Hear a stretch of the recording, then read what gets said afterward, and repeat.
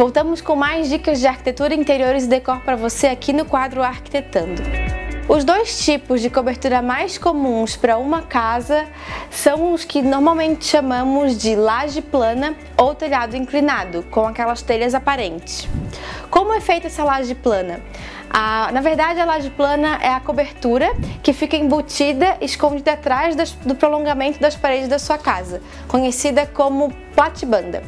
Essa cobertura que fica escondida pode ser de telha de fibrocimento ou de placas de concreto. Se for usada telha de fibrocimento ou similar, a inclinação de aproximadamente 10% com calhas nas pontas.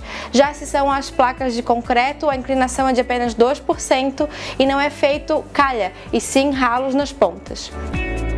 Como é feito o telhado? O telhado inclinado é feito com telhas soltas sobre uma estrutura de madeira, composto por terças, caibros e ripas.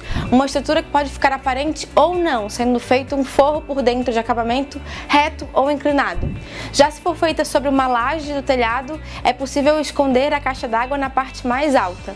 A inclinação e resistência do telhado depende do tipo de telha utilizado. Pode ser de barro, cerâmica, de concreto, de vidro, entre outras. Na ponta do telhado é preciso fazer uma calha, apenas quando a água não pode escoar livremente para baixo, no caso de encontrar um outro telhado ou uma parede, por exemplo.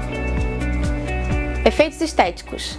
A laje plana tem como visual considerado mais moderno, enquanto o telhado remete à forma mais tradicional e também mais acolhedora.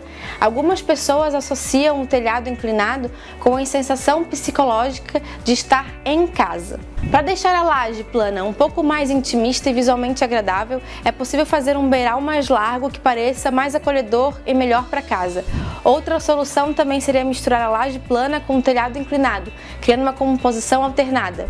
A inclinação e o tipo de telha usado também pode interferir bastante no seu visual. Com a inclinação maior, remete a chalés. Diferença de custo. A laje plana é muito utilizada também não pelo, só pelo visual moderno, mas também pela vantagem que se torna sobre o telhado inclinado. O telhado é mais demorado e mais caro para ser feito, mesmo com telhas avulsas mais baratas. Isso porque envolve muito trabalho de carpintaria e muita madeira, além de necessitar de telhas bem menores que sejam encaixadas uma por uma. Tanto a laje plana quanto o telhado inclinado podem ter variação de eficiência e resistência, dependendo das soluções ou dos materiais utilizados. Mas de maneira geral, a laje plana é mais barata do que o telhado, desempenhando é, um conforto térmico e resistência bem similar. E quanto mais recortado o telhado e inclinado, mais caro ele se torna.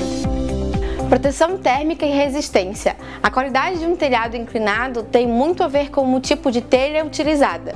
Telhas mais simples se quebram com mais facilidade, mas mesmo as telhas avulsas mais simples de um telhado inclinado já têm melhor desempenho térmico do que as telhas de fibrocimento. Em geral, a ideia da laje plana seja sempre ruim quanto à proteção do calor e frio, mas na verdade podem ser utilizadas pinturas que protegem a telha de fibrocimento do calor e então acaba sendo mais eficiente do que o telhado. Existem também telhas ecológicas, telhas termoacústicas, além disso existem opções para usar placas de concreto, que são bem melhores do que a telha de fibrocimento. Gostou dessas dicas? Quer mais algumas? Então fica ligado que toda segunda-feira tem um quadro Arquitetando comigo no seu jornal VIP. Até mais!